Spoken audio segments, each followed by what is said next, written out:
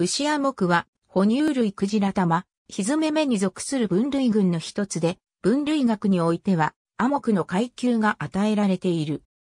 鹿、キリン、牛、ヤギ、羊、カモシカなどを含む、かつての牛目中で最大のグループであり、現在の陸上クジラ玉、ヒズメ目の繁栄の中心となっている。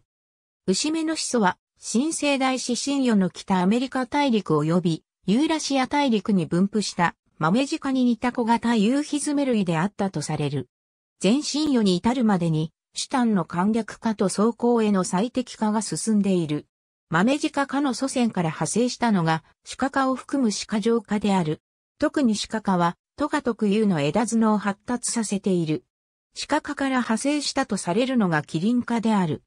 原生群としてはキリン及びオカピの2種が存在するが、オカピがキリン化祖先の形態を強く残している。牛科は、原生の牛ア目の中でも最大のグループである。全身世に現れ、ユーラシアからアフリカに渡る多くの地域に進出し、先住の他の草食獣に対して優勢となっている。牛ア目における骨格上の共通の特徴としては、虚骨上下端にある滑車状構造が互いに平行である点が挙げられる。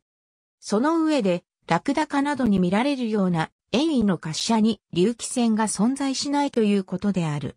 また、頭部に角を持つ系統が多数見られるが、各系統でその形態は異なっている。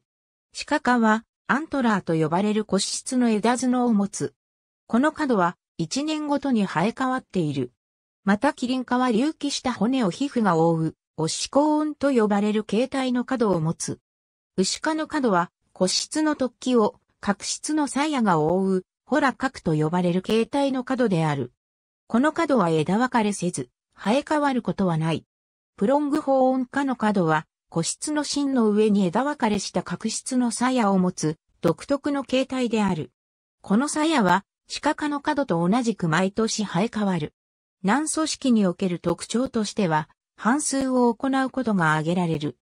半数位、または、福位と呼ばれる通常4つに分化した位を持ち、半数を行うことによって、消化しにくい植物の繊維成分を消化吸収している。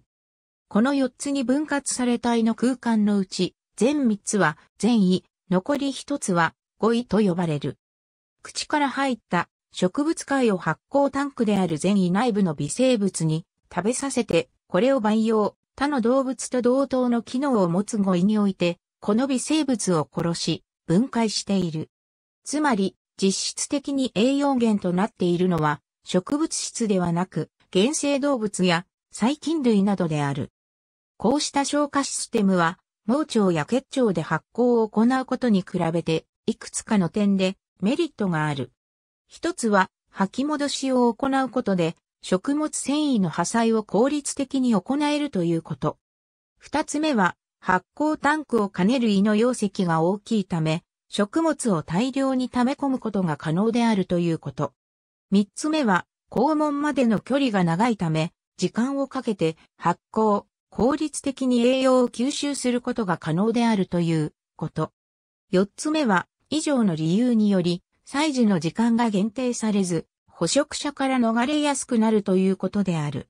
これにより、彼らは、イノシシアモクやウマメなどの批判数十に対して優位に立っている。クジラ半数アモクシトルウマネンティアを置く場合、下目とされる場合もある。は絶滅。ありがとうございます。